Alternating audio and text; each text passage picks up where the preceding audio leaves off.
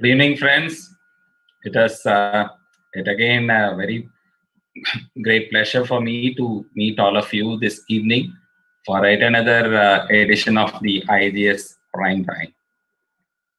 You all know, and for the benefit of the new wish watchers, IGS Prime Time is a brand new program which has been happening over the last two months, where we have two components. One is to interview a pioneering legend who has dedicated his entire career for a development of a specialty or a development of a particular surgery. And we also get to hear to pioneers who have been working on a single procedure for their entire lifetime.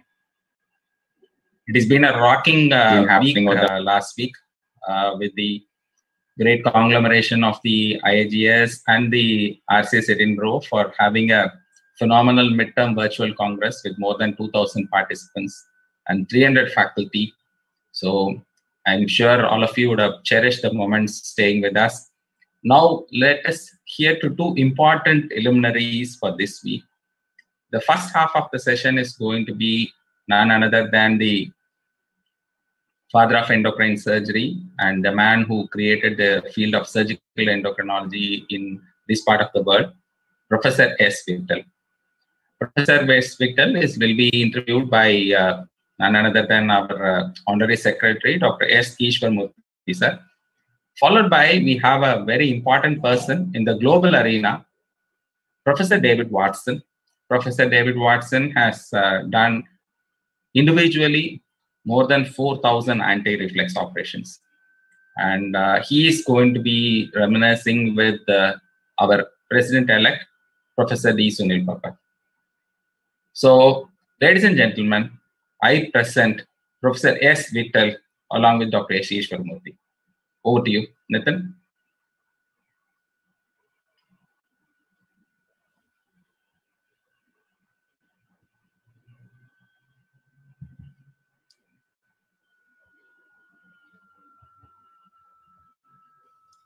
Friends, ladies and gentlemen, welcome to IAGS Prime Time.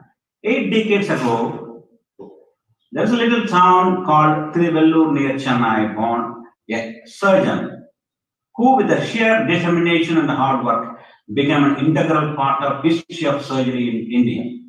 A pious, iconic surgeon with wit and wisdom in his speech and precision of execution in every action. He has made a lasting impact in whatever he did and wherever he went. He is a fatherly figure for all of us, and he is the father of endocrine surgery in India. Yes, this is our one and only Professor Dr. Sripadam Vittal from Chennai, whose story I'm sure will be a great inspiration for all the young budding surgeons. Please come with me. Let us go to his house to meet him and greet him. Hello, sir. Yeah. A nice uh, meeting you, sir. This is from IAGS office. As a secretary, I'm very, very glad to meet you today. And uh, today you are going to be in the IAGS prime time, uh, wherein uh, people across the country or even various parts of the world are waiting for us to show the living legend. So nice meeting you after some time. And uh, I wanted you to remember your those days when you had uh, your undergraduation, post-graduation, and as a passionate teacher and assistant working in the corridor of Madras Medical College alongside Professor Sarath Chandra, those days of your undergraduation, post-graduation, sir. Uh, thank you, Dr. Ishwaramurthy, for uh, inviting me to be in the midst of uh, IAGS prime time, which, for which I'm very much honored. In fact, my mother's father is a very famous doctor those days, Dr. G. Narayan Samadaliar, and is a contemporary of Dr. M.R. Guruswamy Mudaliar, Colonel Pandalai, and other things. My mother always used to talk very high about the father. Father did that, father did that as a doctor, he did that, he did that.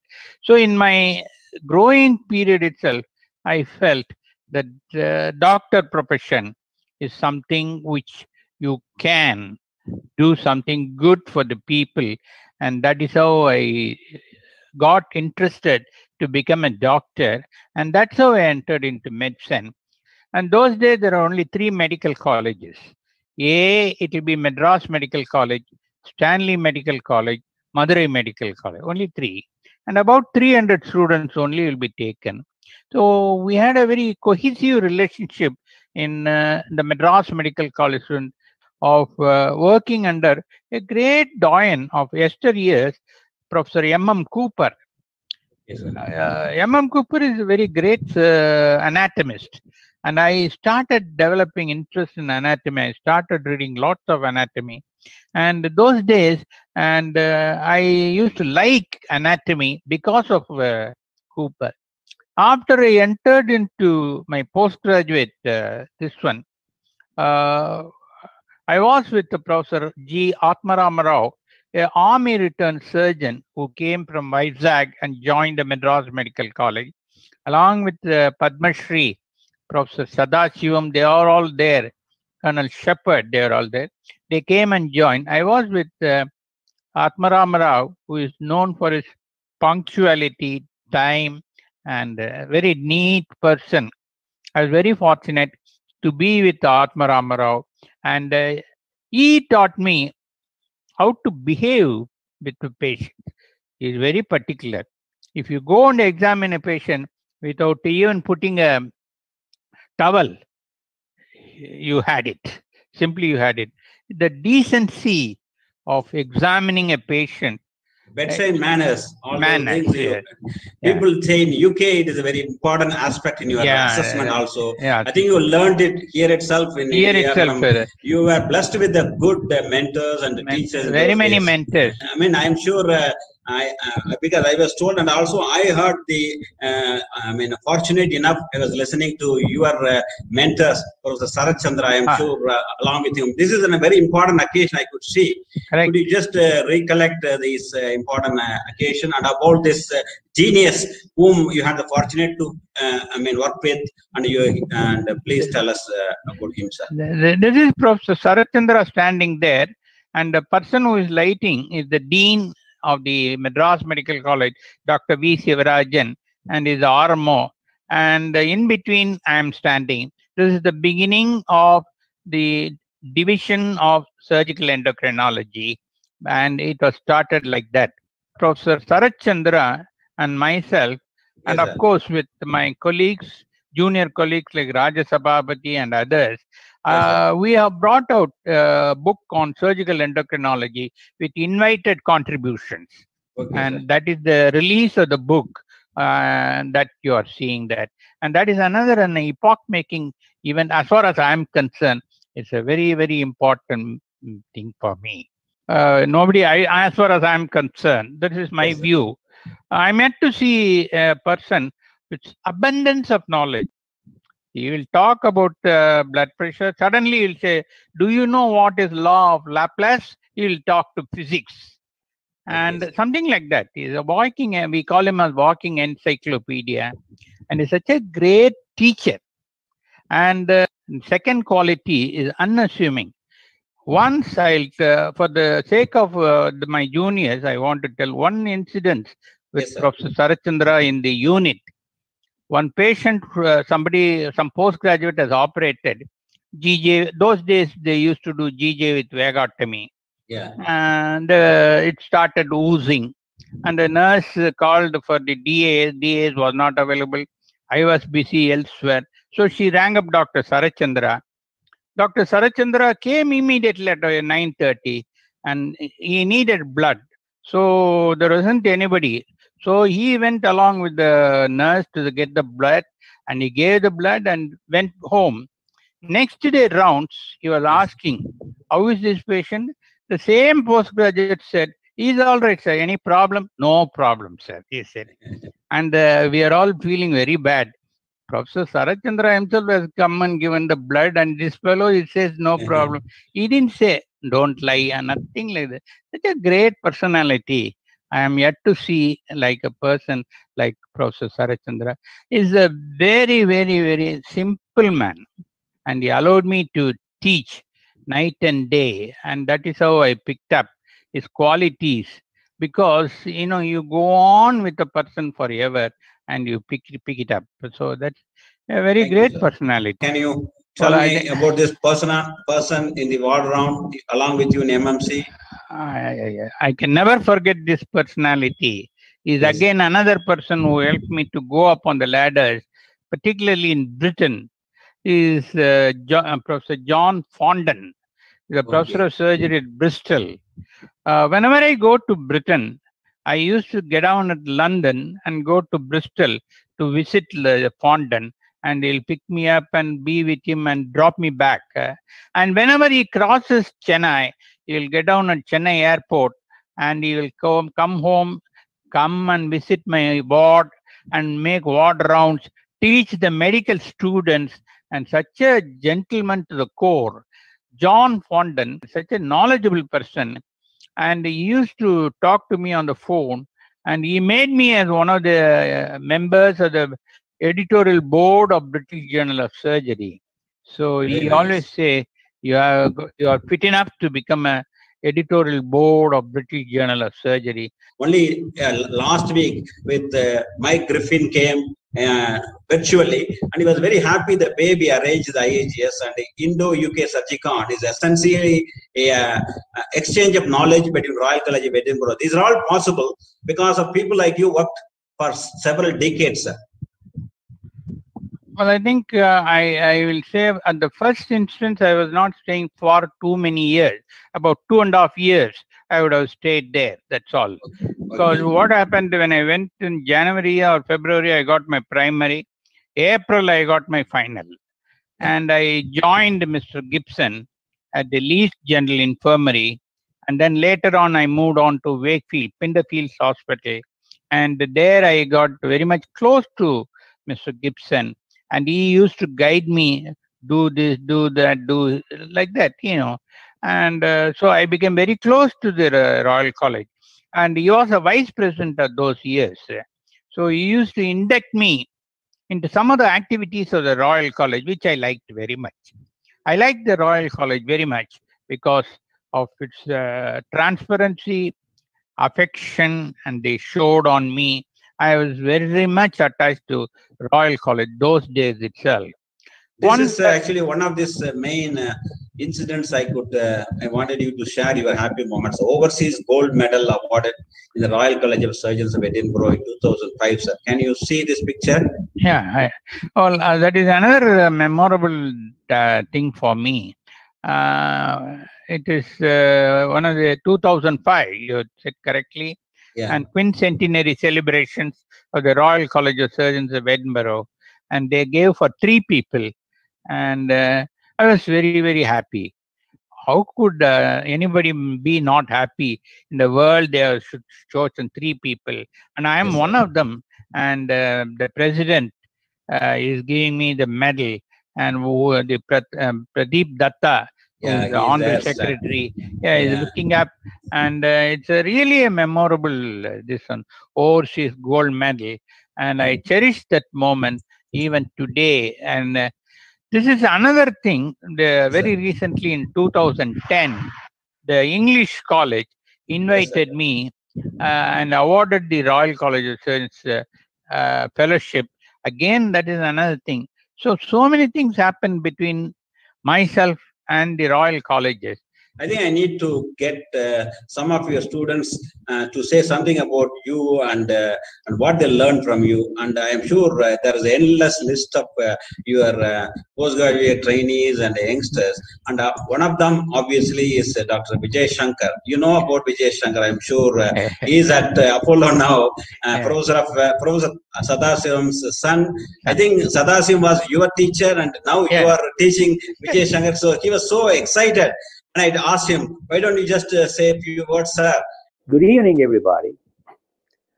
It's an honor and privilege to talk about a great institution called Professor Vittal, an acknowledged father of endocrine surgery in our country. As a single surgeon, he has done more than 15,000 endocrine surgeries, a number which many endocrine sectors in the world has not done till date. a singular feat and accomplishment for a single surgeon. By his tireless efforts, surgical skills, and innovation in the early 80s and 90s, he made sure that the rest of the Indian medical community take notice of his young, fledgling endocrine surgery center in the Government General Hospital, Madras Medical College. As a result, many patients from different parts of our country flock to his center for good and sound surgery. Padma Shri Professor Vittal is a multifaceted person, a tough taskmaster, an endearing doctor to his patients, and an iconic medical teacher with a slice of British humor which he acquired during his stint in the United Kingdom. As years rolled by, his reputation spread throughout the country. He was soon a nationally recognized endocrine surgeon and a great medical statesman. It was not surprising that governments and head of the governments leaned on him for advice related to medical matters and the diseases of endocrine glands. Some of his words of wisdom were remarkably sharp, witty, and crisp. சில டைம்ல பிரமிக்க வைக்கும் சில டைம்ல சிரிப்பையும் உண்டாக்கும் On one occasion, his young associate brought a few scissors and told him, This scissor is from Japan. Please buy it. He, in his usual pragmatic, humorous way, told him, Doctor, I don't mind whether the cat is black or white, as long as it can catch the mice in my house. So give me a scissors which can cut when I want it to cut. Thus ended a conversation with a mild amount of wit. His advice to aspiring young medical doctor is three important words read, read, read. In medicine, knowledge is power, not money. Thank you. Your words after hearing this, uh, what do you want to share? I'm sure. Uh, Vijay Shankar uh, is the son of a great surgeon, Padma Shri, Professor Sadasivam. Naturally, the genes have come, yes. and uh, uh, now in Apollo, he is uh, one of the very noted cardiac surgeon, which I am very proud of. The, uh, the teacher is more happier than the taught. So, in that way, I always uh, love Vijay Shankar because whenever he does a great surgery, and cardiac cases, he'll tell me I done that. Well, I am very happy that Vijay Shankar is going up like anything, and I wish him many more laurels. This is what this is what the teacher should do. Teacher should uh, act like a ladder, and uh, he must lead students to greater heights by showing his own behavior and his own uh, knowledge, his own this one. I always tell my patients or that my junior doctors when they're around, the three things that is important. One is availability of doctor. The next is uh, affability of a doctor. Third is the ability of doctor. yes. So when a patient comes to you, you must be available. When he sir, sir, sir, means you must be available. Affability, you should not go and yell. "Eh, What do you want? I say no. What do you want? What, like that. Kind words. And last is your ability. How you operate in the theater, the patient is not going to come and see. So these are all the words that I tell my, like that I go on telling my youngsters. And one such great uh, soul. Now I'm happy to see Vijay Shankar talking so nicely in few words about. Thank you very Thank you, much. thank you. Thank And one similar person, I think he is also your undergraduate student, uh, Amarendra. He is now well settled in UK. It gives me great pleasure to say a few words about our dear Professor Vittal. I knew him for more than 45 years. I first met him when I started my surgical posting as a third year clinical student at Madras Medical College in the surgical ward at Government General Hospital. He's a kind person, he's a good teacher, and a great mentor to his students and postgraduates, including myself.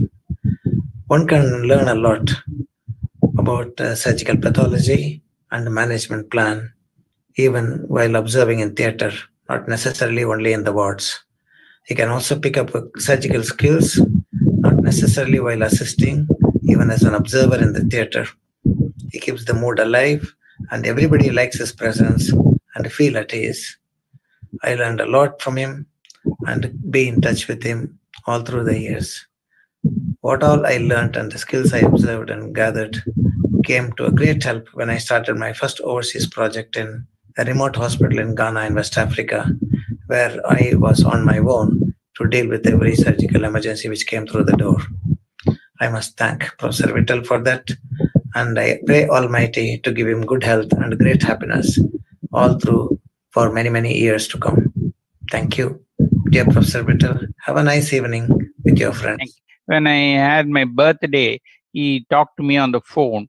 Yeah, I was very happy to Amarendra has come up to uh, uh, accident and emergency consultant and uh, so much. And it's a wonderful personality. He is also hardworking. Yeah. There is no substitute for hardworking in surgery. You have taken the endocrinology as a super specialty now to Yeah. the whole country. And I think, uh, and I, not only you established yourself, and I think everybody see you as a face of endocrine surgery in India, and you brought the uh, super specialty and uh, various colleges across the country. You went and motivated all the people to take up, and even in our state, people like Jyotiram Lingam and uh, and all these uh, great personalities. I'm sure you, you can tell better than me.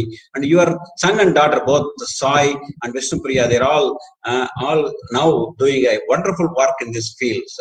And I think the Indian Association of Endocrine Surgery, where you are the founder president from 1993 to 95. Now Sai just now uh, has become the president, and he did a marvelous job conducting the virtual conference. I think these are uh, making you rightly chosen as you are the father of the endocrine surgery as a field in India. When I was a postgraduate, those days there is recent advances in surgery edited by Selwyn Taylor. Yeah. He will always write about the thyroid and parathyroid. I used to read that, read that, read that, read that. And R.B. Welbourn, who write uh, all the time about the adrenal gland. So in my mind, I thought, uh, why not? We also can uh, go in that direction. Why should we uh, not uh, think about specializing in that? Well, lots of people, lots of, you know, uh, so many people will say, after all, there is nothing there. No, that is different. But I thought if you narrow down your specialty, you widen your skill, is my axiom. Nobody can prevent uh, general surgeon by definition, as far as I'm concerned, he can do anything. He can do the thoracotomy, he can do laparotomy, he can do colorectal. Anything can be done. You can't say colorectal should not be. No, no, they they will do it. So that is how I view that. So let them do it. What? Why not? Let them also do it. I'll also do it. Let me show that I will do it with little more perfection. That's all. I think you made it, I mean, uh, in the right time because now if you see even the super specialty endocrine, now people only focus on thyroid. Even in thyroid, they can focus on robotic thyroid Yeah. or they do. See, it is expansion is so much. I think one cannot master of everything. You need to focus. That Yeah, is the only way to get the excellence. The excellence is only by a focused, I mean, concerted effort. I think you rightly uh, chosen the field, sir, and uh, you persevered. And uh, I think that's the reason there are a lot of people now out there. Like you see, there are so many endocrine surgeons. They're very, very happy. Well, And well, uh, under your banyan tree, I think there are so many people here. Well, throughout India, lots of endocrine surgeon, and Yeah. particularly at the beginning of MCH in Madras Medical College, MCH at the HEPJ, MCH at the CMG, lots of people are coming out as endocrine, and I'm very happy. your uh, contribution in the Association of Surgeons of India, its growth. You worked as a country secretary.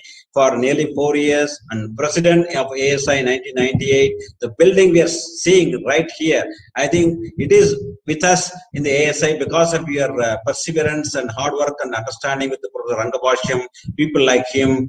And I think you need to tell something about the, the ASI and its role because they rightly, obviously, chosen as the Lifetime Achievement Award for you in 2012. And we, as a parent body, with the chapter of Tamil Nadu, we were very proud to appreciate all your thing and all you can see all these people see how you can see uh, professor mohan prasad and uh, babu and uh, everybody is very happy to see you receiving this Well, I think the at some time ASA was in great trouble because of the heavy loans that they had taken to build the auditorium. At that time only, I was brought in as an honorary secretary. Very Okay. tough time, really, because I had to manage a lot of things. By Yeah. God's grace, I used to go and meet lots of people, bureaucrats, bank Yes. officials, uh, politicians, everybody, and somehow I was able to get over the uh, loans and uh, turn the table towards the positive side, and that is how the ASA has started. Two more jewels uh, who came from your uh, I mean training. One of course is uh, from Coimbatore. One of my close friend also, Professor Dr. Raj Sabapathy, the consultant plastic and hand surgeon in Ganga Hospital. This is what he has to say about you and it's a privilege for me to speak about one of my mentors, uh, Professor uh, Vittal. I think if you think back and think about your teachers or uh, how the world values uh, surgeons, I think primarily the, the first criteria would be their skill levels. I think Professor Vittal was an extraordinarily skilled surgeon, be it uh, when on thyroid or parotid or in a, uh, abdominal emergency. I think uh, skill levels we found were extraordinarily good. And it's not that uh, flashy operating or uh, quick operating. And what really mattered uh, was outcomes. I think his, his uh, outcomes were extraordinarily good. That's one. And secondly, he also taught us a lot of bedside manners as to how you deal with people, how you deal with uh, difficult attenders. I think everything, you know. So uh, what we got trained was a wholesome training that we got from him. So which I am greatly indebted. The second point on which I would uh, greatly value my association with uh, Professor Vittal was, and when we were working as postgraduates, there's a time, you know, he started developing the surgical endocrinology division. It is only left for a few people to be pioneers and starting some uh, subspecialties in surgery. I think Dr. Vittal was in the right time, and then he did a great job in uh, starting the surgical endocrinology division. And uh, trials and the tribulations that he underwent gave me a good idea as to if we could start up a microsurgery unit back in Coimbatore after our training. And whenever we face trials and tribulations, I said, okay, yeah, this is a norm. It's not that, that we are only suffering. I think everybody who has gone before us has suffered that. So for that, and I'm eternally grateful to Dr. Vittal for the opportunity he gave when he was setting up a unit. That's the second thing.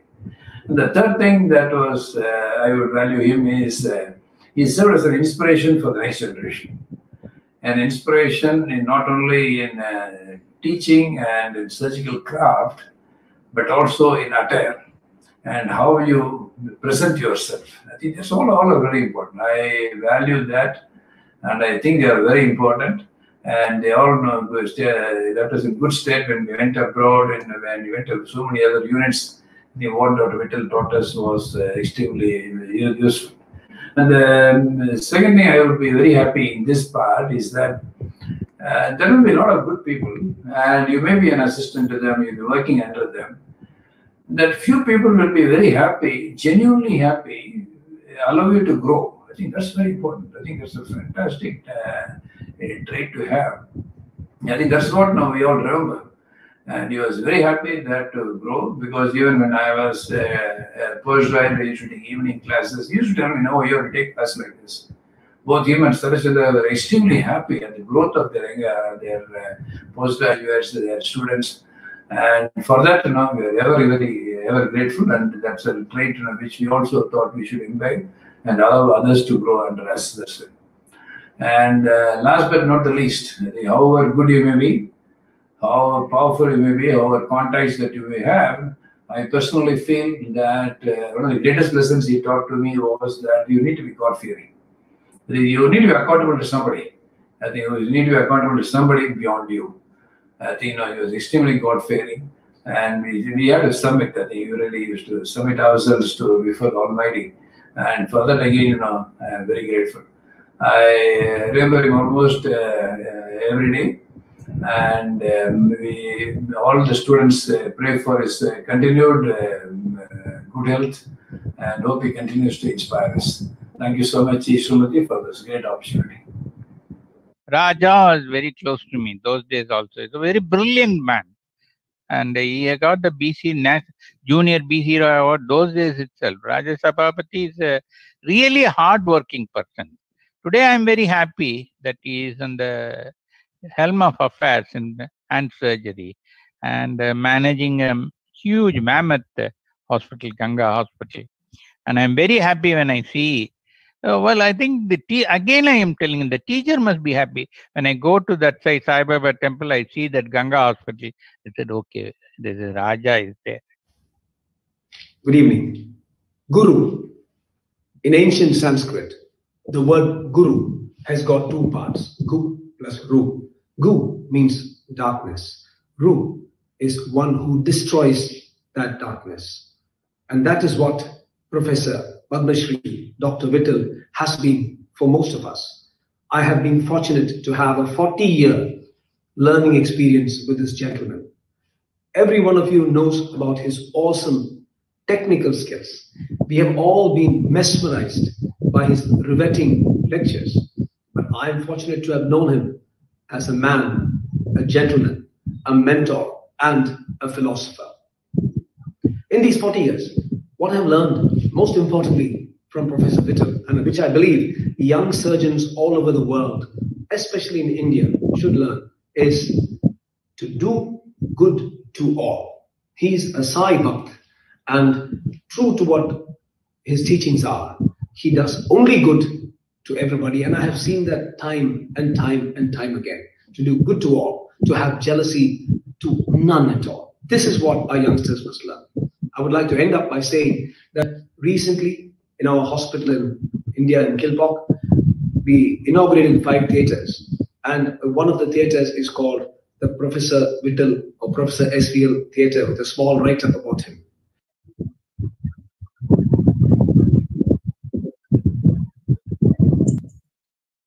That's what uh, Raj had to say, sir. Uh, I know Raj uh, for, as he says, more than 40 years, and uh, uh, I'm always very happy. Whenever he has an effort, he has first time he'll go and come back and show me, sir, I got this effort. I got this effort. Four times he all the efforts is completed. I was very happy, very, very happy. And um, well, I think uh, when he took to minimal access surgery and bariatric surgery, I used to enjoy his surgery, his lectures, and his multifaceted personality. That is another thing for me. He'll play guitar, he'll write his English poems so nicely. So I always feel that is uh, God has given him everything, and I am very happy to call Raj Kumar as one of my students.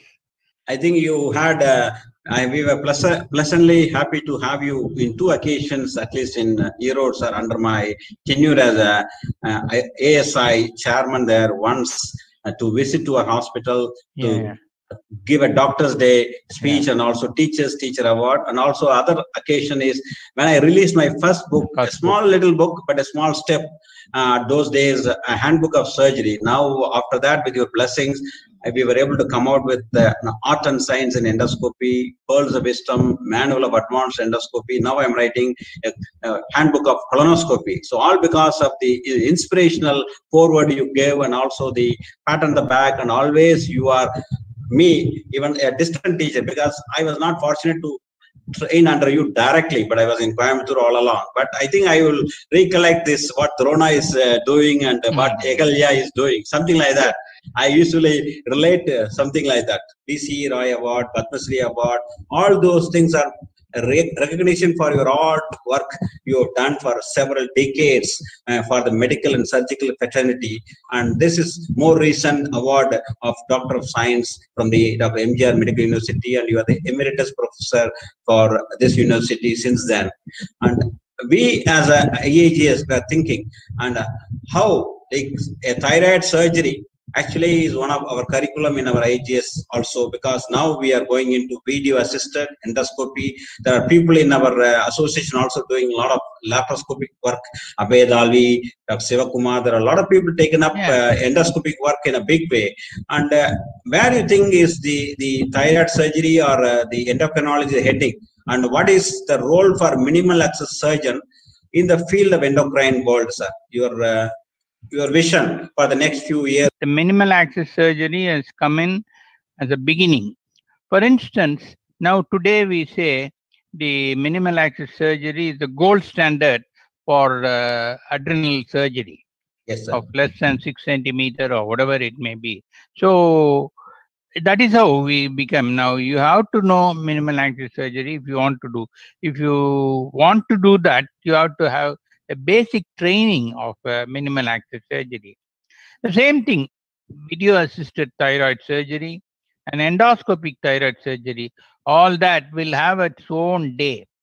So nobody stays. The world is rotating and we are also rotating and we have to go with the world and learn more and more and more and more things. Don't be static. Don't ever be static. Progress is the way of human life. So I see a great uh, uh, chance for the minimal access surgery in endocrinology also.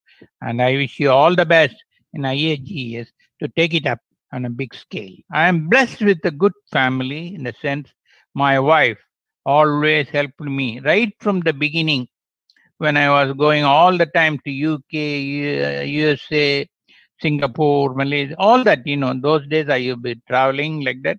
She was very helpful. And when I came to this level, my son Sai Krishna has taken over, slowly he's taking over, and he has already taken over. And that's uh, gratifying for me. Suppose, you know, uh, he is able to take every, he is able to do everything. He is managing the hospital, he is managing everything. Uh, everybody says, and some people come and say, Sir, your son is uh, like you only, sir. I said, Why do you want to belittle him? I said, Tell that he is much higher than me. So I am blessed with a son who is uh, academically very excellent, yes, sir. perfection. I may not be that perfect. I don't know. You may be knowing all that. Sai Vishnu Priya is now uh, assistant professor of surgery in Madras Medical College. She has finished her MCH and she has got a gold medal also. And she is also doing very well. And uh, she is also good technocrat. I used to see operating. I used to see Sai operating. And uh, that is, uh, you know, you feel very happy. Though I don't tell them on the face, you are done, operated very well. No, I don't do that. Yeah. that will dampen their interest. So today I am opening it out because I'm blessed with this family. Let me hope that God continues to bless this family and all of you and to me also. I think it's been very inspiring and educating for all of us to listen to you for so long. I think the day is not enough to know all about you and your career. I think your life itself is a, I mean, the lesson for all of us to get educated. And uh, we wish you a happy, healthy life. And you please continue to inspire us and the surgical fraternity as a whole, sir. Thank you very much, sir. Thank you from IAGS and our president, Dr. Raman Goel, and uh, our founder president, Dr. Udwadia, sir. Everybody will be very, very happy to listen to this interview, sir. Thank you very much. Thank you very much. Thank you, sir. Thank, Thank you. you, thank Thank you. God bless you. Sir.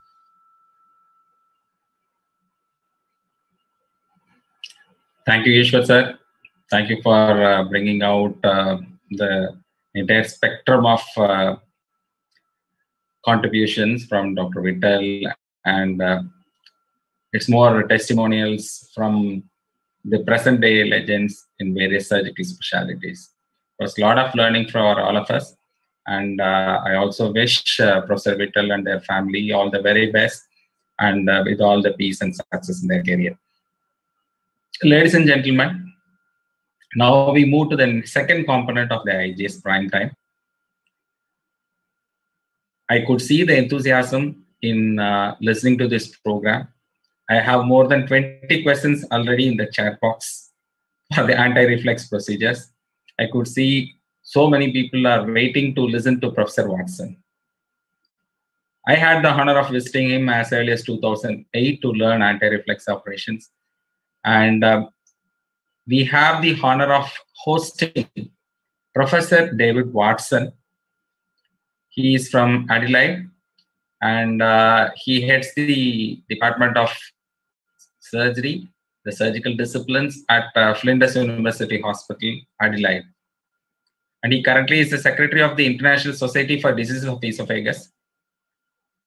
And yet another uh, reason to be proud, none other than our vice president, or the president-elect, Professor Sunil D. Popat, is going to moderate the session. And uh, Professor Watson shares us his experience with more than 4,000 anti-reflux operations. Over to Dr. David Watson, please. Nathan.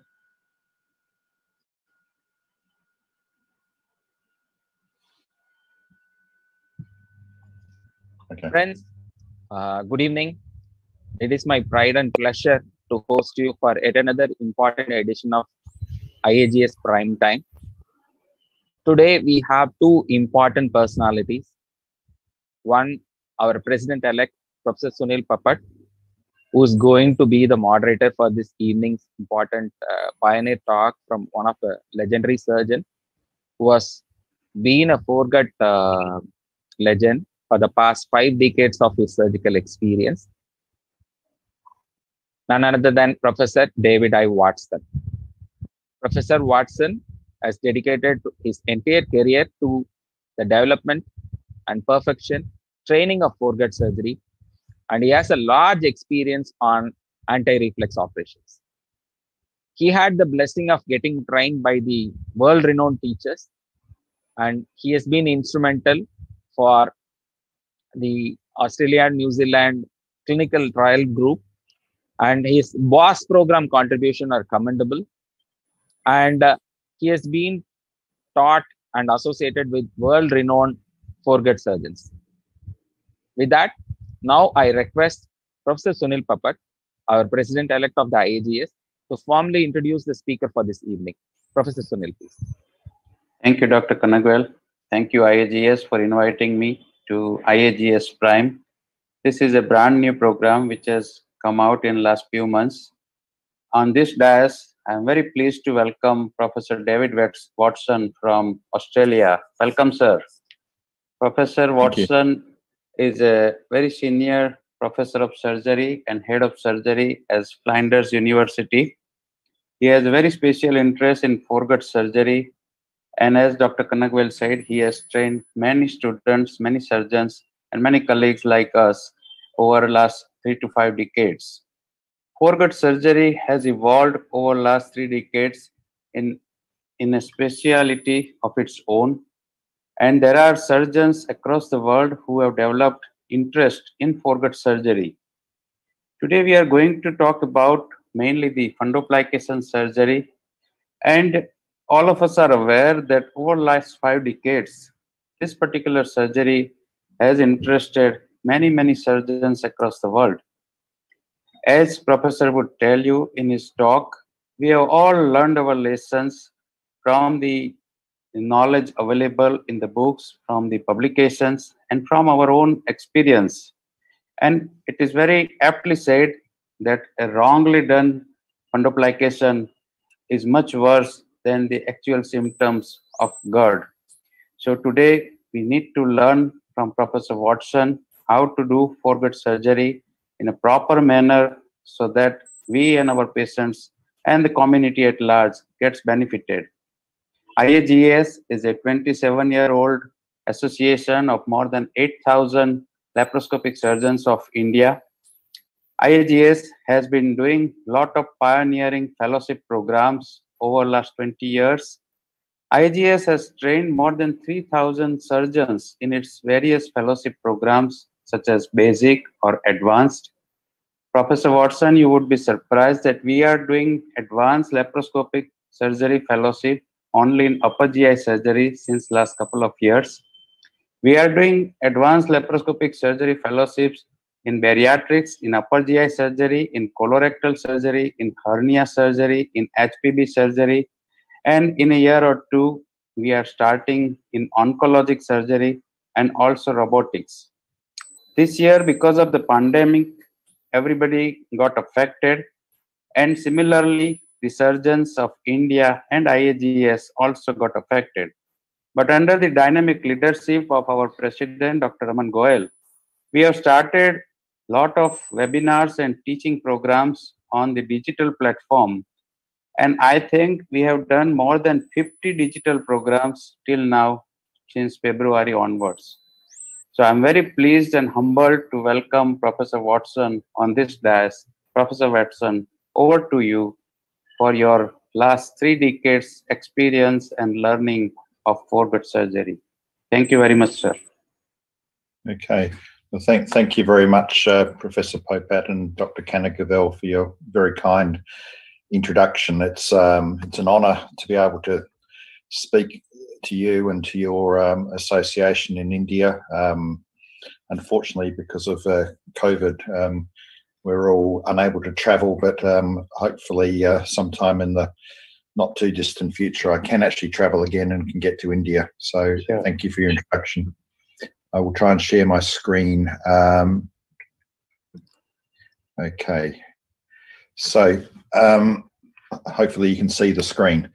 Um, I, I, was asked to um, talk about um, sort of experience with surgery for reflux and what, what I wanted to do was perhaps um, talk about some of the things that we, we've learnt uh, over the last 30 years. Um, my, my experience in terms of laparoscopic fundoplication uh, started in uh, 1992 when I was a, a, fellow at the Royal Adelaide Hospital with um, Professor Glyn Jamieson, and um, I started working with him after they had done some experiments uh, using pigs to try and work out how to do um, anti-reflux surgery or fundoplication laparoscopically. And um, I missed the first three operations; they were done before I started, but um, uh, from from there on, I was um, uh, involved in the development of um, of, this uh, surgery.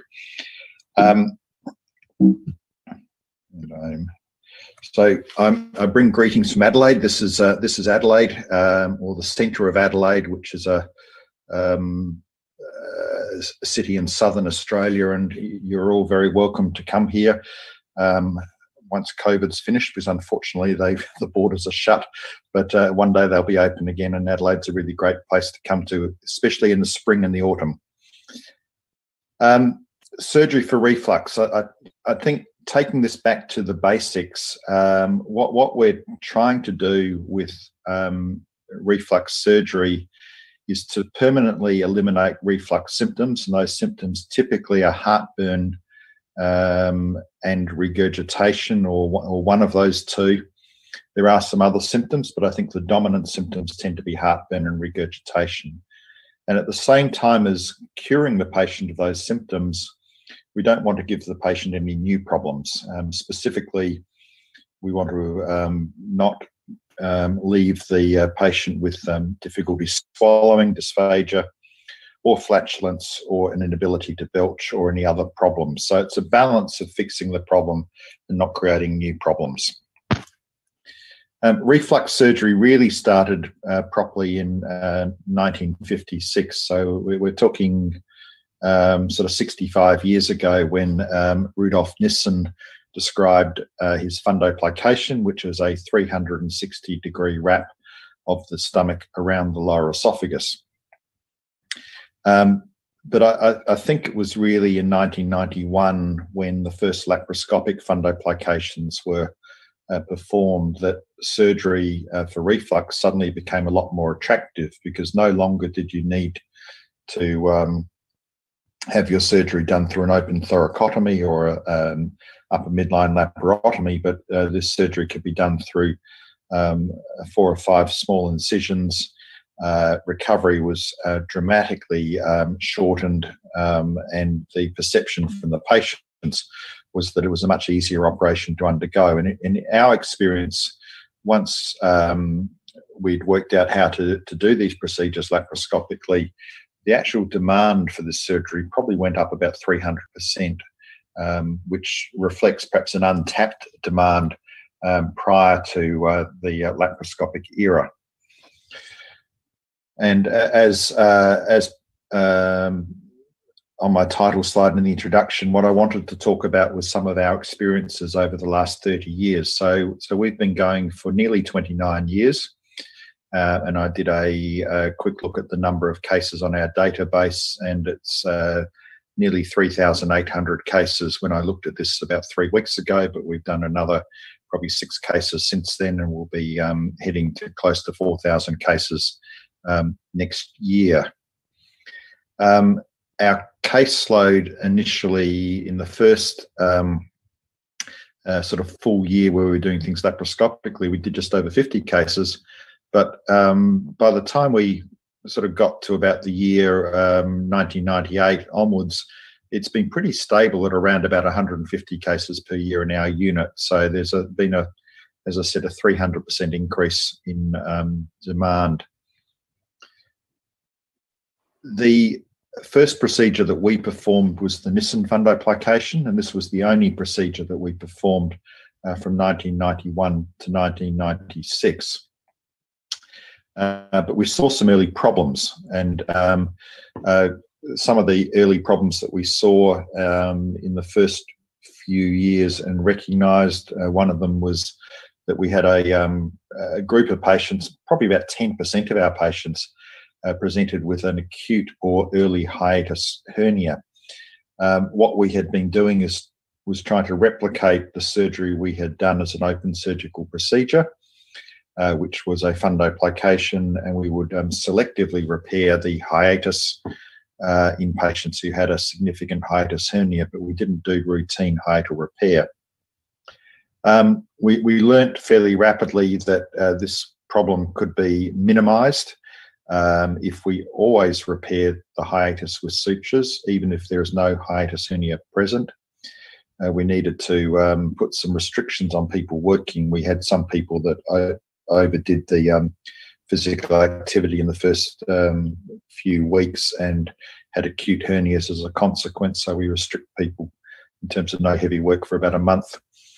We also identified that most of these acute hernias occur in the immediate post-operative period. Sometimes they even develop in the recovery ward if the patient spends a lot of um, uh, effort straining or coughing or um, when, when, they're not um, fully um, awake from the anesthetic. So we've done a uh, routine barium contrast swallow X-ray on the first post-operative day um, since 1995, uh, um, and that identifies um, occasional uh, asymptomatic hernias which can be repaired easily uh, in the immediate post-operative period and reduces the risk of the problem. Um, the other early problem we had, and I think this is potentially a technical error, um, but can occur if you get a lot of swelling at the gastroesophageal junction, and that is uh, the patient that can't swallow. And this is a barium contrast x ray where no contrast is going into the stomach. Uh, on day one, you actually probably don't need an x ray to diagnose this because the patient literally can't swallow their saliva. Um, and this is a um, uh, what we found in that particular patient when the patient was taken back to the operating theatre. So here's our esophageal hiatus with the uh, esophagus going through it. There's actually a bit of space there. Uh, but all we did here was cut this single stitch, our top hiatal repair suture, um, check that our fundoplication was loose by lifting it up um, above the, um, uh, the esophagus and then on the next day, another x ray done, and you can see the gastroesophageal junction is wide open and the patient can swallow. And the third, third error we um, identified early is what we termed a, a bilobed stomach, which is effectively an obstructed stomach where the error here um, occurred from um, um, only having access in some ways to uh, zero degree laparoscopes rather than 30 degree or angled laparoscopes in the early days. And um, we had a couple of patients where the surgeon um, took the body of the stomach rather than the fundus up to create the fundoplication. You can see it creates this two chambered stomach.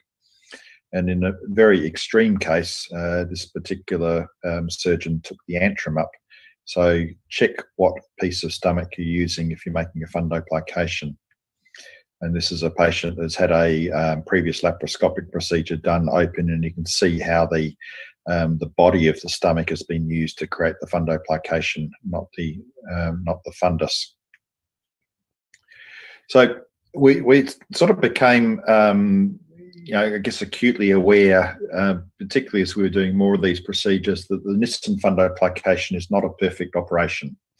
You can have problems with recurrent reflux in some individuals, and you can certainly have problems with side effects. Dysphagia is almost uh, inevitable in the early postoperative period, but persists in a small group of people in the longer term.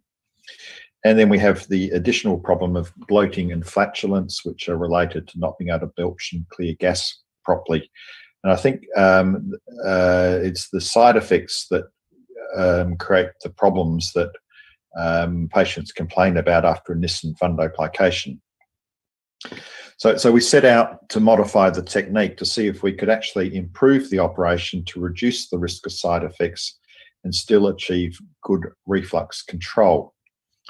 Um, a number of uh, uh, options were on the table. Um, um, various uh, surgeons uh, had advocated um, shortening the length of a Nissen fundoplication, making it looser, um, really loose and floppy around with a large bougie in the esophagus, dividing the short ga- gastric blood vessel. So the North American surgeons strongly advised dividing short gastric blood vessels uh, as a step to ensure that the fundoplication was sufficiently loose. And then the other option was a partial fundoplication, not wrapping the stomach the whole way around the esophagus. And this really was a um, modification that was advocated by some of the European surgeons um, going back into the 1970s and 1980s. So the question is um, how can we best achieve long term control of reflux symptoms? And how can we minimize the side effects following surgery? And, and is it possible to achieve a perfect outcome for everyone where we have excellent reflux control and no side effects? Now, I think um, it, it, sort of depends uh, a bit how you look at the problem, but um, uh, this, if we consider uh, this to be a picture of some surgeons who are um, up on top of a balcony and looking out on the world, and they have one particular view of the world and what it looks like, and maybe a particular view about how to do surgery for reflux.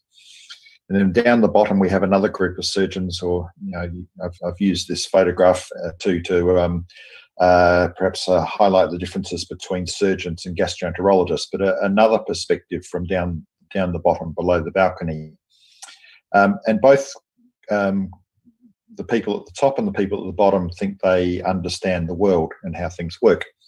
But when you put the whole picture together, sometimes it's not quite so simple. And um, none of us really get the big picture. We, we see our own perspective and we struggle to, um, to, to, to see all the other perspectives and integrate them.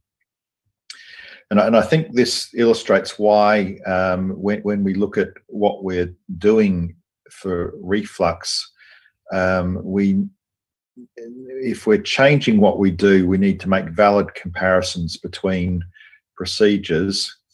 And to make valid comparisons, I would argue that we need well constructed randomized controlled trials.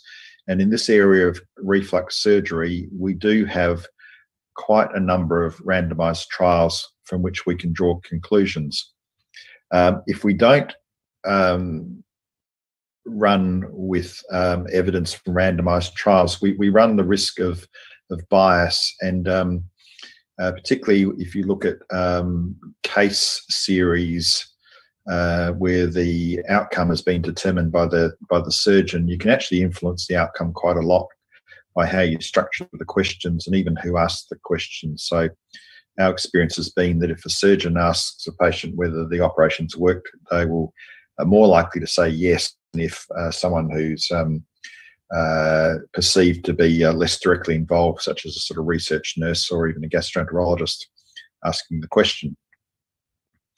Uh, in the context of reflux surgery, um, there have been a number of questions addressed, and I'm not going to look at all of these because I won't have time.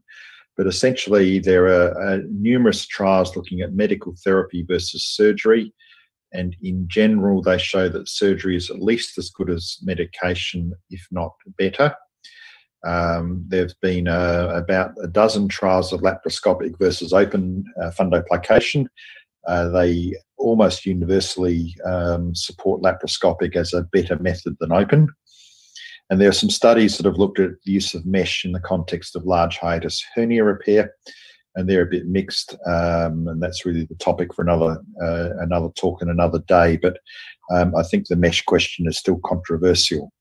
If we're talking about surgery specifically for reflux, and we assume that the patient requires a laparoscopic fundoplication, I think the two big issues are whether or not to divide the short gastric blood vessels during Nissen fundoplication, or whether or not to um, do a partial fundoplication as opposed to a Nissen fundoplication to reduce the risk of side effects.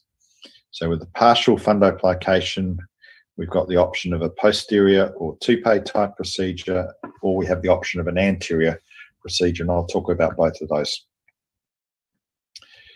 So if we look at um, the question of division of the short gastric blood vessels, um, there are six randomized controlled trials which have addressed this question, uh, all in the context of Nissen fundoplication. They're listed there. Um, I would argue that the, um, the, the better two are the one that we published from Adelaide, where we uh, enrolled 102 patients, and we've reported outcomes to 20 years. And the other study from Lars Lundell's group in Sweden, where a similar number, just under 100 patients, followed for 10 years. Um, meta-analyses of these trials basically show equivalent reflux control at anywhere from one to 20 years follow up. Uh, these meta analyses also show similar rates of dysphagia. Um, and what uh, I struggle to explain and even to understand why it should be is that in the larger trials, if the short gastric blood vessels are divided, you actually see more bloating and, uh, and wind type symptoms after the vessels are being divided compared to an equivalent group where they weren't divided. Um, we, we published a um, combined sort of uh, meta-analysis. We basically took the data set from the Swedish trial uh, and our own trial and uh, putting those two trials together, we had 201 patients and we were able to com- uh, combine the trials and look at outcomes at um, a mean of 11 and a half years follow-up, so 10 to 12 years. And basically, reflux control was similar, um, 82 and 89% in the two, two groups, not statistically significantly different. But that gives you a bit of a benchmark as to um, how effective these procedures are at 10 years as well, somewhere around roughly about 85% success in terms of reflux control. Um, and these were dysphagia scores. So um, uh, the, the columns on the right are the uh, where the vessels were not divided versus divided, and basically the dysphagia scores or the number of people with mild, moderate, and severe dysphagia was not significantly different, and there was certainly no trend towards a better outcome if the vessels were divided. Um, the significant issue was the bloating. So, if the short gastric blood vessels were divided, 72% of the patients, uh, of the 200 patients, um, reported bloating. If the vessels were not divided, it was 48%. Both groups had high rates of bloating, which is consistent with the Nissen procedure, but it was significantly worse if the short gastric vessels are divided. And we've hypothesized that, that maybe um, we've in some ways denervated the, um, the fundus of the stomach and changed gastric motility in some way by dividing those vessels at the original procedure. If we put all these studies together, um, six trials plus a meta-analysis, um, we, we would conclude that dividing the short gastric blood vessels during a Nissen fundoplication is not necessary. You just need to make the fundoplication short and loose. So how about a partial fundoplication? Well, a posterior partial fundoplication or Toupet procedure is what you see on the diagram and also on this photograph here. Um, that can be um, constructed quite easily. There have been 13 trials, some of these in the laparoscopic and some in the open era, 1,300 patients, um, follow-up ranging up to 20 years. Most of the follow-up sort of short to medium term, but a lot of trials that have addressed the question as to whether this is a better option than a Nissen fundoplication. Um, and meta-analyses basically show good reflux control for both procedures with no differences. Um, 11 of the 13 trials showed no difference for dysphagia, but um, a lot of these trials were, uh, some of these trials at least were small numbers. That may account for some of that.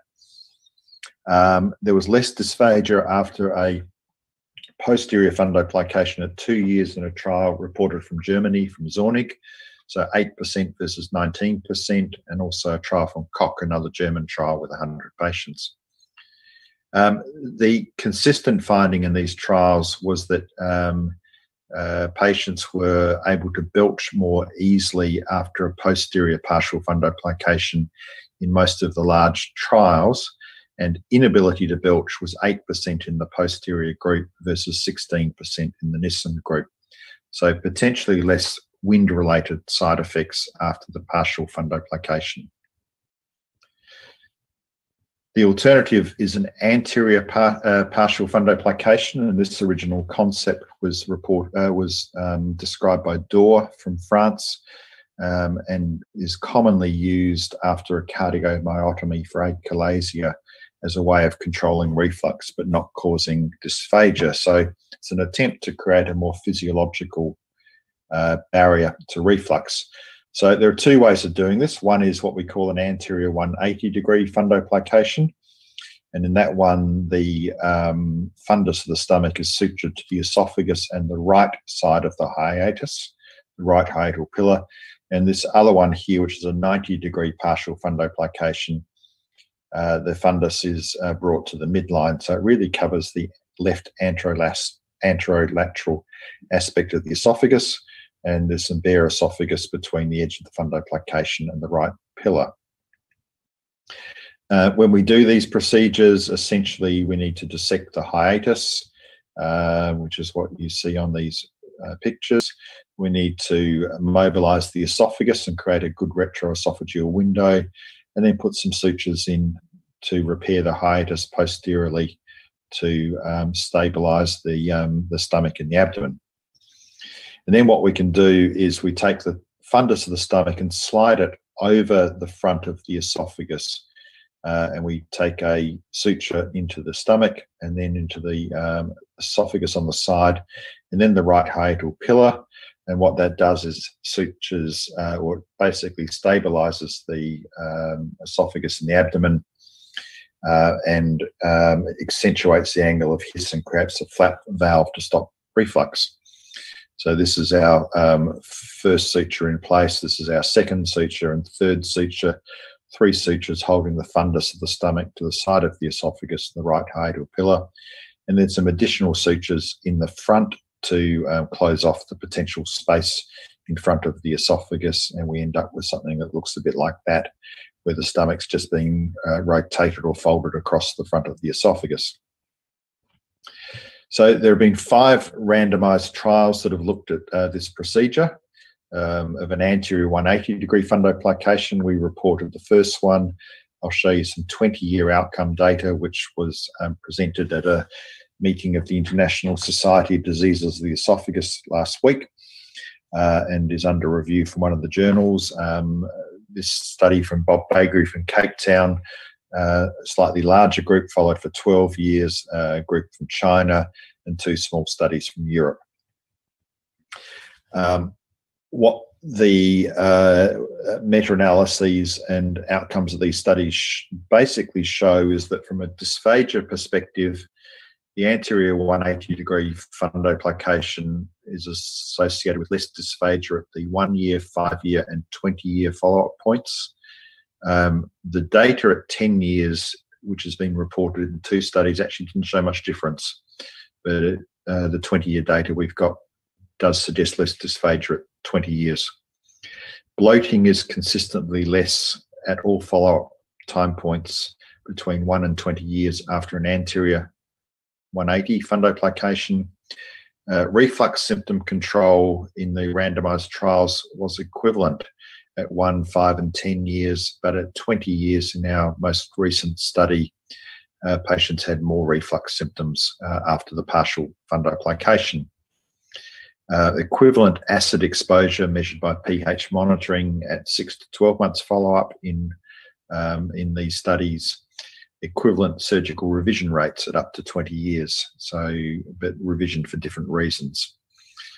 So this this is some data we actually managed to get from our trial. A small number of patients to um, come back for a fairly detailed uh, set of physiological studies at 14 years after randomization to anterior Nissen fundoplication. Unfortunately, this is only 20% of the available patients studied, and the sample was biased towards the more symptomatic patients, but um, abnormal reflux in about half the anterior group, but only um, uh, I think it was about two of the Nissen group. Um, lower esophageal sphincter pressures were comparable, but a little bit less after the anterior fundoplication. Um, at 20 years, um, and, and, we've recently um, report, or we're in the process of trying to publish these outcomes. We started with 107 patients in our randomized trial. Um, 15 people died across that 20 year period, which is perhaps not surprising since some people were in their sort of 60s or 70s when they had their original surgery. We had four people that um, could not contribute to follow up because of uh, dementia or a terminal illness in one patient and we had 88 patients potentially available for follow-up and were able to determine clinical outcomes in 79 so roughly about 90% of that cohort. And these are the data. Um, we measured heartburn using a 0 to 10 analog scale. So 0 is no heartburn and 10 is severe heartburn. Um, so the mean score after the anterior 180 at 20 years was 3 versus 1.4 for the Nissen. This was better for the Nissen, less heartburn. PPI medication use, um, I would emphasize that not all patients taking PPIs are taking it for recurrent reflux, but nevertheless, there is a difference here of 42% versus 17%, which is significant. And again, that is consistent with um, a better level of reflux control at 20 years after a Nissen fundoplication we look at side effects, this goes the other way. So dysphagia, again, on a 0 to 10 analog scale, where 0 is no dysphagia and 10 is severe dysphagia. Our mean score is 1.8 for anterior, 3.3 for Nissen, better after the anterior fundoplication. 1 versus 1.5 for liquid dysphagia, not significantly different. Bloating, 47% versus 61%, but didn't reach significance ability to belch, um, better preserved after the anterior fundoplication, 84 versus 66%. That was significantly different.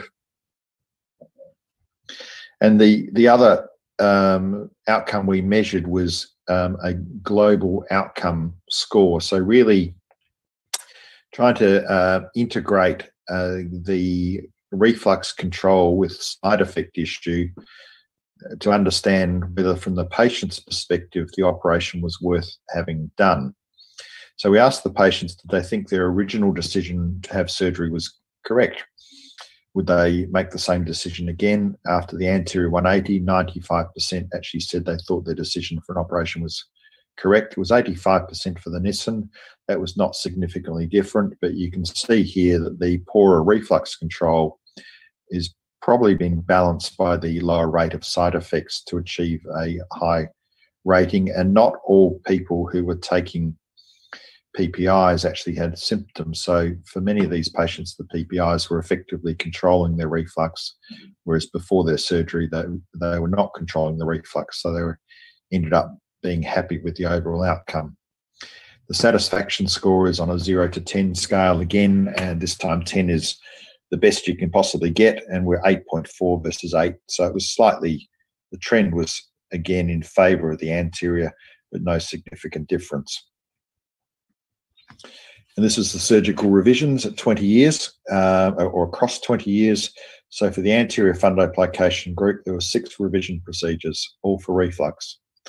For the Nissen group, there was one uh, for reflux, five for dysphagia, and one for hiatus hernia. So basically, um, the total reoperations were about the same, but the reason for the reoperations was different. It was uh, dysphagia for the Nissen group and reflux for the partial fundoplication group. Um, this is the study from Bob Baigrie, uh, published in uh, the British Journal of Surgery. So they followed 163 patients for 12 years. They uh, achieved 12 year follow up in 90 patients, or 55% of their cohort. They saw no differences for heartburn, dysphagia, bloat, or bloating. PPI use was 29% in the partial group versus 8% in the Nissen group. That was similar, uh, so different. The satisfaction rates were similar. So th these are outcomes that are consistent with what we saw in our trial. Now, we when we finished the uh, recruitment and early data analysis for the anterior 180 degree trial, we hypothesized that um, uh, maybe if we further reduce the uh, extent of the fundoplication, we could further reduce the risk of side effects. So the anterior 180 was still still had some side effects, but not as much as the Nissen. So we proposed this procedure, which we called an anterior 90 degree partial fundoplication. So basically, what that involved was suturing the fundus of the stomach to the left side of the esophagus and the left hiatal pillar at the top and then bring rolling the fundus across and stitching it to the apex of the hiatus and uh, the anterior wall of the esophagus. So covering the left anterolateral aspect of the esophagus. Um, and I won't go into as much detail as with the other procedure, but we did publish um, earlier this year in the British Journal of Surgery um, a combined data analysis of two randomized trials that we ran. So we ran one trial where the short gastric vessels were divided during the Nissen procedure and one where they weren't. Um, we had 191 patients in these trials, and we had the opportunity to look at follow up to 10 years. So, again, similar um, scores to, um, and way of following the patients up to what I showed you for the previous trial. Heartburn score was uh, trending higher after the anterior fundoplication group compared to Nissen. Didn't quite reach significance. PPI use was higher after the anterior compared to the Nissen, consistent with what we saw in the other trial. Dysphagia scores went the other way, um, so higher after Nissen fundoplication, consistent with the other trial. Uh, painful swallowing, interestingly, was uh, nearly three times higher after Nissen fundoplication. Satisfaction scores were similar. So the, this data is remarkably similar to the other trial that we ran. Um, this slide is an attempt to try and summarize all of the randomized trials that have looked at the question of partial versus Nissen fundoplication. And uh, essentially, uh, at sort of follow up to about 10 years, um, anterior 180 versus Nissen, similar reflux control, same with posterior, a bit worse after the anterior 90. Dysphagia better after the anterior fundoplication options. Similar, except for two of 13 trials after the posterior fundoplication. Um, flatulence, bloating, inability to belch, all uh, much less of a problem after the partial fundoplications. And overall satisfaction, sort of global outcome measures were similar for all three um, partial fundoplication options versus Nissen. So we I guess our preference from this is we think probably the, the balance, if we're going to do a partial fundoplication, is at least in our hands towards the anterior 180 degree procedure. So I guess the question that you could ask after this is whether a perfect outcome is achievable for all patients after a laparoscopic fundoplication. So is there a perfect operation for the treatment of reflux? Um, and I guess what I've shown you is the bottom line is no, there's not. There are trade-offs. There is um, a risk of recurrent reflux, and there is a risk of side effects. And I think you, we can consider these trade-offs as um, going across a spectrum. And if I construct my spectrum with Nissen fundoplication here at the top, going to a posterior partial, then an anterior 180 degree partial, then an anterior 90. As we go from Nissen to anterior 90, these side effects reduce. As we go from anterior 90 to Nissen, our reflux control becomes more secure. So there's a direct trade-off between reflux control and side effects, and they balance. And the question is, where where does your patient fit in terms of uh, this spectrum, and what what are the um, uh, what are the issues that they prioritize um, when it comes to considering what type of operation to do? So, I think um, if the aim of surgery uh, is to maximize control of reflux, but at the same time minimize the risk of side effects, we need to consider that a partial fundoplication provides certainly early advantages in terms of uh, reasonably good reflux control and minimal side effects con- compared to the Nissen fundoplication. Um, and it does, I should say, it does actually um, remove uh, from, uh, at least from my practice, some of the uh, quite severe early dysphagias that we used to see with some of the Nissen fundoplication group. Um, this is a graph from a paper we published a, a, decade ago now, but it does show across the first two decades of our experience that we started doing a lot of Nissen fundoplications. Then we started in uh, really 1995 uh, to 96 exploring the options of a partial fundoplication, particularly anterior. And as we became more confident with the results, we've ended up doing more and more partial fundoplications rather than Nissen fundoplications. And we've got a small cohort down the bottom who have a posterior fundoplication. So put, putting this together, considering this data and, and what we've learned over 30 years, the question is, what do I do? Well, I, I think, and I haven't really gone into how we do the first bit, but these patients need full workup. We need to basically make sure that the problem is reflux. And then we also need to consider is is the patient a high risk patient? When I say high risk, I'm talking high risk not from a a uh, medical perspective of comorbidities. I'm talking high risk uh, from the perspective of complaining about the outcome afterwards. So, high risk of a poor outcome in our experience tends to be older women or people with atypical symptoms. Um, they really complain about the side effects and um, uh, will uh, keep coming back to see us and wanting more and more things being done. So, in the people that I think have a potential high risk of a poor outcome, I want to minimize the risk of side effects. I don't want to give them a new problem. Hopefully, I've fixed their, their problem, but if I don't fix their problem because they've got atypical symptoms, at least I haven't given them a new problem. Lower risk patients tend to be in the younger age group um, men, more so than women, tend to fit into this group. People with typical reflux symptoms, so heartburn with at least some history of improvement with PPI medication or regurgitation. In these, this group, um, I explain the pros and cons of a Nissen versus a partial fundoplication, and I let the patient make a choice. If the patient can't make a choice, then I my bias is towards a partial fundoplication.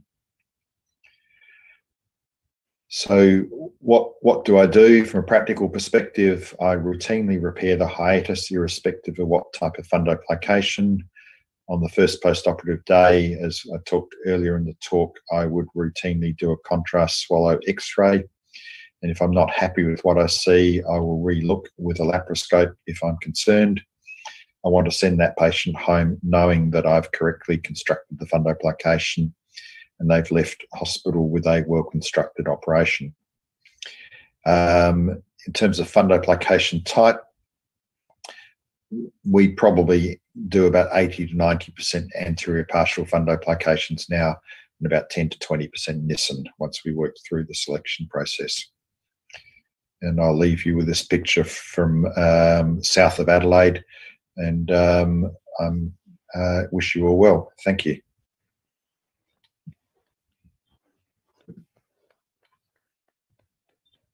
Excellent talk, Professor Watson.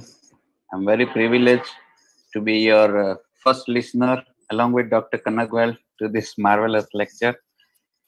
Uh, in the last few slides, you clarified most of the things what you actually do. Now, as I understand, you started with Nissens and now moved over to doing more and more partial fundoplication and uh, particularly anterior partial fundoplication. Yes. So, just going back to the basics, uh, in your clinic, in your practice, uh, how do you get the patient for reflux surgery? Are they always referred by the physician colleague, or some of them land up on uh, your OPD first, and then you decide whether to do surgery or not? Um, yeah, so they they would come from different directions. So we we would see some patients that come from the physicians, uh, from the gastroenterologists, um, when, when, we first started doing these procedures laparoscopically, interestingly, um, the view of the gastroenterologists were that um, a lot of patients had problems after a Nissen fundoplication. So uh, patients heard that it could be done laparoscopically, and probably about half of our patients came from sort of family doctors, general practitioners.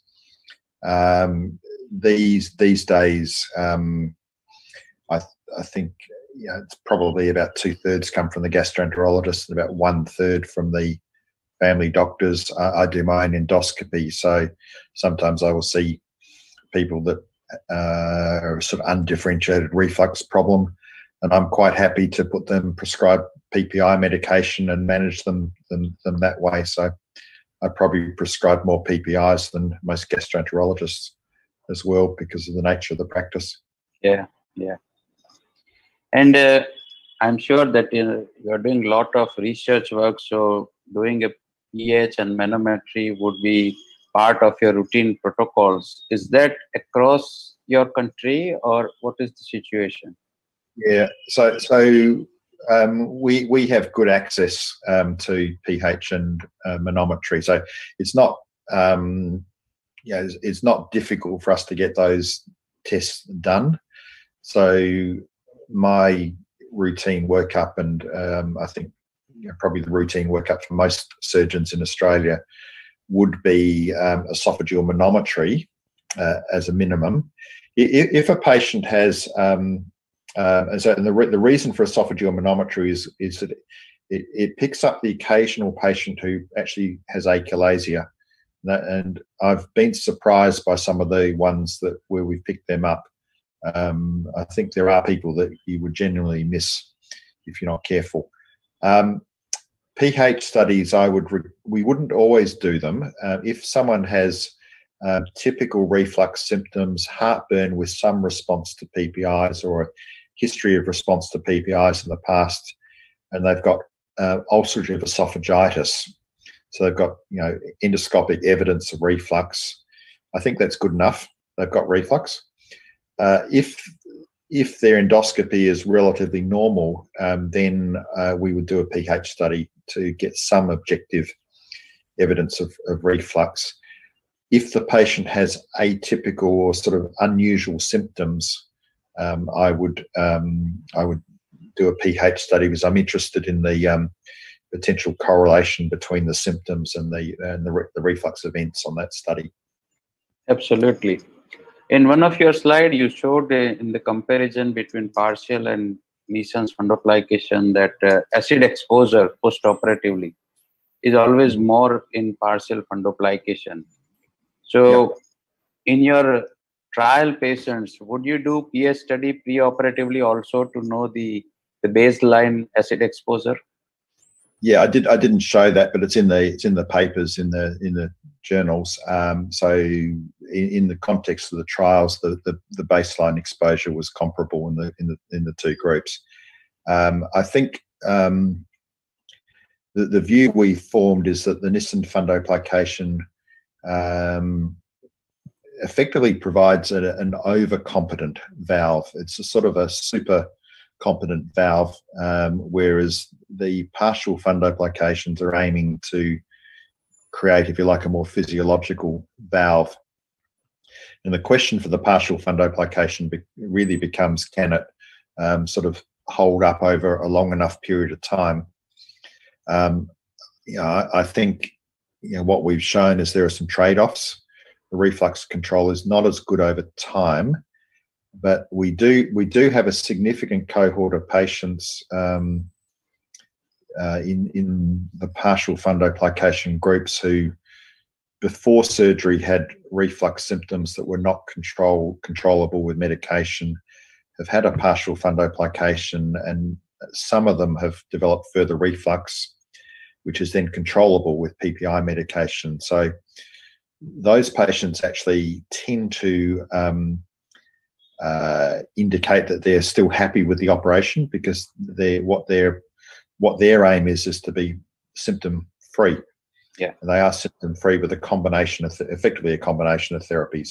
Ideally, you'd like them to be symptom free without any medication, and that is at least still the majority. But the um, the patient's perception around this is actually a little bit different, uh, more nuanced than than perhaps ours is at times. Absolutely. And I think and you mentioned in your slide wonderfully well that uh, find out the high risk patients from the viewpoint of uh, what they want actually, rather than their actual pathology. Yeah, yeah. So I think you know, in my mind, I'm trying to work out, you know, is there a group that should be steered in one, one or other direction?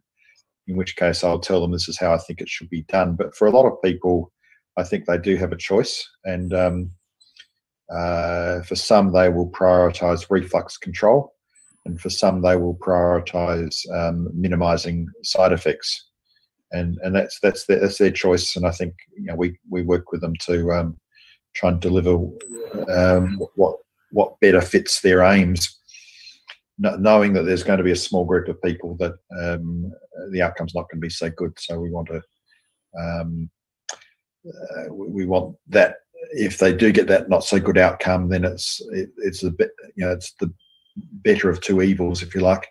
Yeah. Okay. Now talking about revision surgery, professor, when do you decide actually to reoperate on your uh, previous fundoplication patient? Okay, so so I think I, I break this down into um, um, depends on the indication or the reason. So if it's recurrent reflux, um, I guess you know clearly I want to make sure it is actually recurrent reflux. Not all patients who claim to have further reflux actually have it. So those patients need a full workup. So they will get a pH study, an endoscopy, uh, manometry, and a and a barium meal X-ray, and um, if they indeed have recurrent reflux, then I would um, insist that they are treated with the PPI first. I'll be careful about do- dosing. I'll have them on high dose PPI because a, a, revision procedure is not as simple as a, um, a first time round procedure, and the failure rate is higher. So, um, so I'll, I'll maximise the medical therapy first. If they fail on that, um, then then I put an operation on the table and we talk about the, the um, advantages and disadvantages. If the problem is dysphagia, and that's become less of an issue for us because of our bias towards partial fundoplications, but if the problem is uh, dysphagia after Nissen fundoplication, and I do get referred patients who've had a Nissen fundoplication elsewhere, um, um, if if it's less than 12 months after the original procedure, I just wait you know, time often helps. More than 12 months, and if it's if it's troublesome, um, my preference these days is actually to use a, a 30 millimeter diameter um, pneumatic balloon, the sort you would use for achalasia, and do an endoscopic dilatation with a with a large balloon. That probably solves the problem about maybe 70 to 80% of the time, in my experience. Uh, if you use just the bougie endoscopically, it's it's not good enough. It won't deal with it, but a um, a large balloon often will. If that doesn't work, then then I'm uh, prepared to take them back. And if I take them back for another operation, um, I think you have to uh, be aware there are sort of two potential problems that can cause dysphagia. One might be the fundoplication, in which case convert it to a partial. Um, so that can be converted to a posterior or an anterior. It's actually easier to convert it to a posterior. That's what I tend to do for those. Um, but the other thing I do is I check the um, the um, esophageal hiatus. Uh, sometimes that gets quite scarred, and the restriction is actually the hiatus rather than the fundoplication. So put a bougie down there. I'll dissect the anterior hiatus, and if it if it looks tight, then I will um, divide the um, hiatal rim sort of anterolaterally on the left side, and that opens it up a bit. Tends to help. That usually resolves the problem. Third problem is hiatus hernia, and uh, set, uh, trying to emphasize early. Um, a lot of these, I think, occur quite early. Um, and so, you know, I'm happy if I see something on day one, they're going back on day one, day two, and we'll fix that up, and that reduces the risk. But there's a small group that will develop a hiatus hernia again, and um, uh, if they haven't got reflux and they haven't got dysphagia, I tend not to do anything. But if they've uh, because they're not really at risk of volvulus or mechanical problems. But if if it's associated with dysphagia or associated with reflux, then we'll fix that up in the same way as I've described. Absolutely. You answered my next question also. I was just going to ask that sometimes post Nissen fundoplication, we see patients where they have no reflux, but on endoscopy and on radiology investigation, you would see that uh, there is some paraesophageal hiatal defect. And we tend to leave it alone because patient is not symptomatic. Yeah. And i think you agree to that. Yep i agree with that. If they're not yeah. symptomatic leave it alone. Yeah. Now you already briefly touched upon mesh. Uh, i will simply ask when do you use mesh in your practice and which mesh? Yeah okay. So um um so so mesh is a really interesting topic, and um, um, I've um, uh, we, we've published the five-year outcomes from a randomized trial recently in Annals of Surgery. And in that context, we looked at a posteriorly placed mesh. So we, we had patients that were at least 50% of the stomach was in the chest and the hiatus hernia. So these are really big hernias. We sutured repaired the hiatus with sutures, and we then used an onlay of mesh posteriorly to reinforce that. We used two meshes. Um, one was a non-absorbable lightweight mesh, which uh, the particular brand was called Ti-Mesh. It's essentially a um, uh, it was a titanium coated, very lightweight um, uh, polypropylene mesh, and the other one was um, Surgisis, which was uh, uh, biological uh, biological.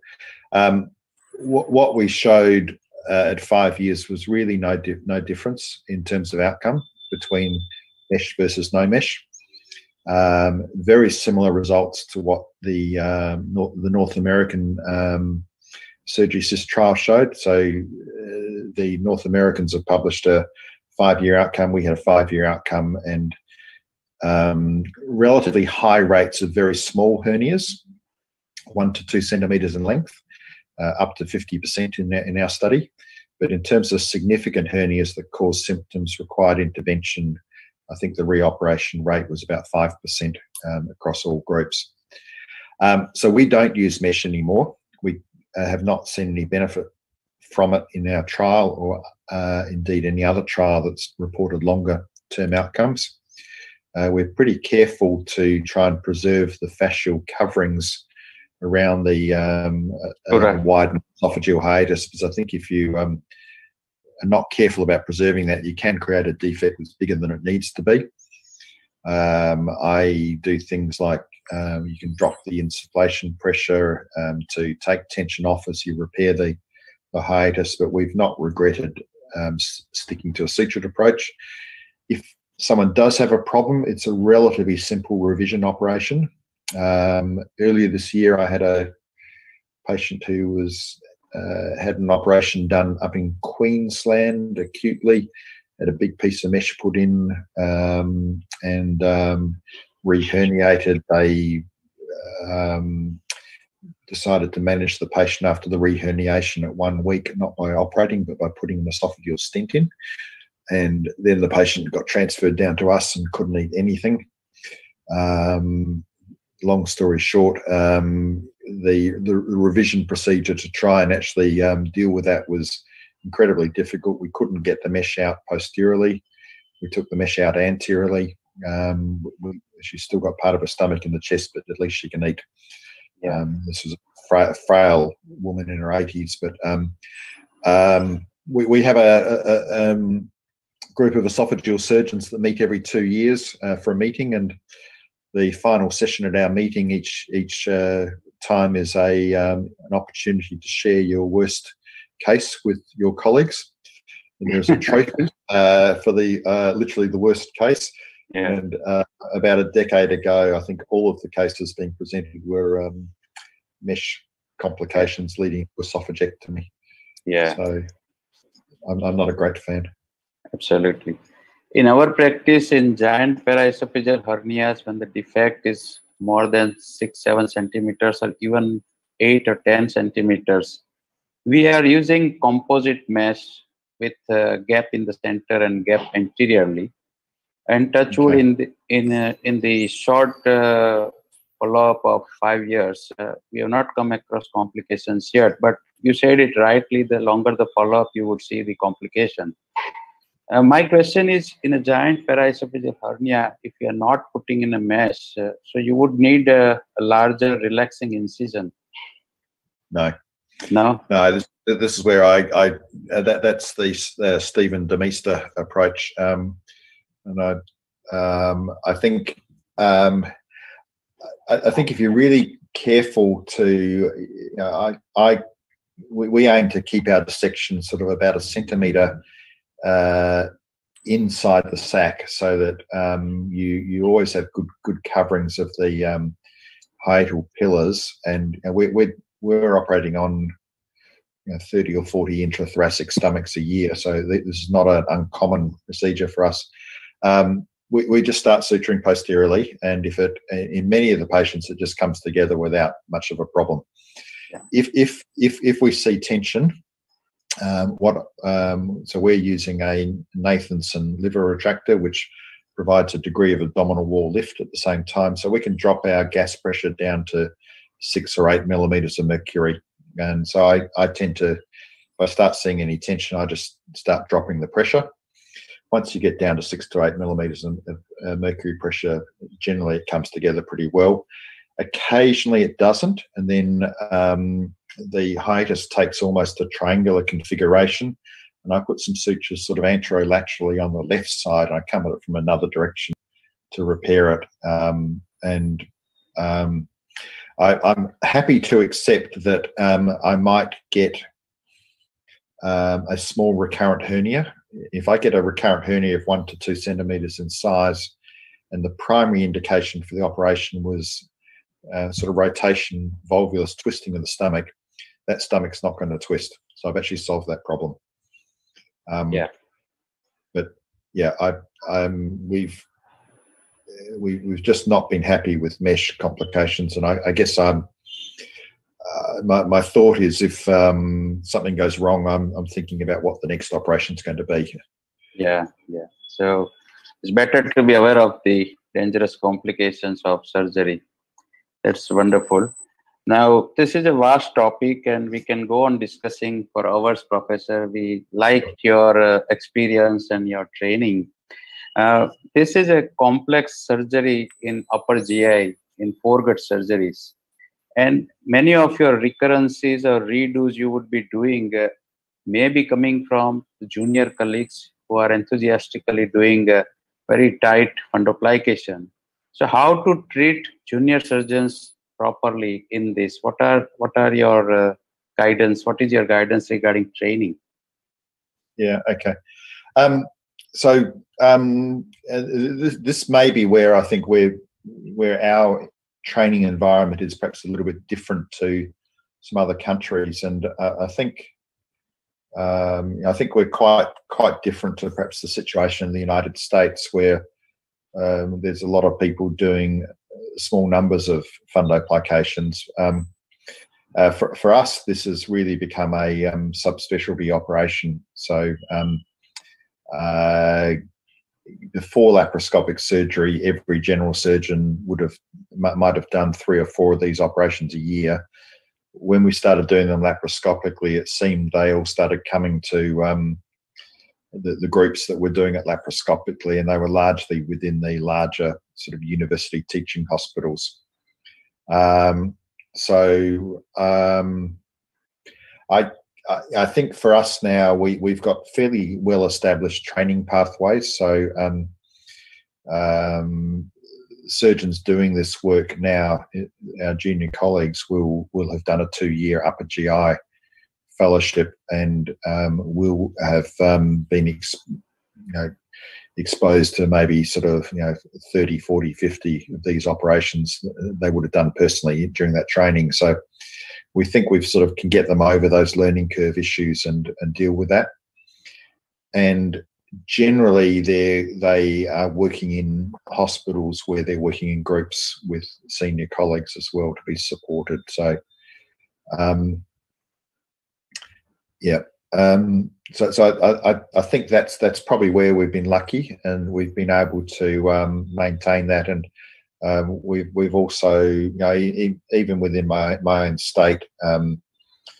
uh, it's probably a sort of small enough environment. Well, small enough in population, not small enough in geography, but small enough um, to actually know know know people, and uh, people will speak to each other and, and share their problems and and work through things. But it would be yeah. unusual for someone to finish general surgical training and then try and do one of these procedures. They they would go through a, a fellowship program now.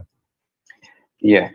Now, sir, would you be advising your uh, junior colleagues to use a bougie of some size in their first 30, 40 surgeries or first one or two years yeah. of practice? Yeah. So, um, so for a Nissen fundoplication, I would still use a bougie to, ca- uh, to calibrate that wrap. Um, I um, I have colleagues uh, on my unit that would use a bougie for a partial fundoplication to calibrate the the closure of the um, hiatus. Um, I don't use a bougie. I have another colleague that measures it. He will get a grasping instrument, open the jaws, and and, and measure it out. He has a he's aiming for 2.5 centimeters. Um, I, I, think I think you need to do something to to make sure that you don't make it too tight. Um, so with, with a Nis with a Nissen, I think the the you know, I would definitely use a bougie for that um, as a way of ensuring that. With a partial, you can get away without it, but I, I think you just need to have some other strategy to make sure you don't make it too tight. Bougie, bougie of 56 or simple orogastric um, tube or which one uh, would you use? The, the one in our theatre is a 52 French bougie, but um, I, I, don't think it matters too much whether it's 50, 52, 56, or even 60. I think you just need to um, have it. I think they all get it roughly the same same size. Yeah. I, I, tell our trainees that they need to make it look about the same size as a 20 cent piece. So a Australian 20 cent coin is the perfect size for. Yeah. Uh, in our experience, excuse me, in our experience, we have seen some of our patients post-Nissen fundoplication. In their earlier post-operative period, six months to 12 months, they develop frequency of stools. So have you come across such a symptom? Yeah, yeah, no, I've, I've seen that. So um, I, I, I've always assumed that's due to damage to the vagus nerves. Uh, so I think um, potentially, um, I think we see it more commonly after the really big hiatus hernias, the intrathoracic stomach. So I think it's incredibly difficult to identify and protect the posterior vagus nerve, and the anterior vagus nerve can be damaged as well. So I've certainly seen uh, a small number of people who've had quite severe diarrhea in the early period. Um, it, um, I've managed them with um, uh, things like a loperamide to try and slow down the um, uh, the, the uh, bowel actions for a while, and it, generally once they get past about six to twelve months, it seems to stop. So I think it's um, yeah, I Yes, think it sir. does get better. Um, what I was thinking was if we injure the vagus, the motility would be reduced rather than increased. So I couldn't explain why it was happening. Well, you get this sort of post vagotomy diarrhea, which is sort of almost like a dumping phenomenon. And I think um, I, I- specifically warn people after the big hernias. I tell them they might be constipated, they might get diarrhea. I'm not Yeah. sure which one you get. Um, um, there, there is, um, you know, I, we, we- we see this a bit. I, you know, because I treat esophageal cancer, we divide the vagus nerve quite a bit. Um, so we do see it sometimes after esophagectomy. Uh, I think it probably is a dumping phenomenon. Um, what we do see though is um, after vagotomy, over time you get um, sort of recovery of um, or rebalancing, if you like, of intrinsic nerve function in the gut. So by the time you get to um, sort of um, one and a half to two and a half years, things like gastric emptying after vagotomy largely recovers. But I, I you know, my experience is the, the diarrhea issue tends to be after big hernias or re- revision surgery where the vagus nerve is at risk, Yes, sir. and it does and it does recover. Right. Yeah, it's always uh, self-limiting. That's what we have observed. Yeah. Now, last question, sir, before we finish, is regarding gastric bypass. In your uh, redo cases, uh, when do you advise gastric bypass? Recurrent refluxes. Yeah, no, it's, it's a really good question. Um, so, so I think um,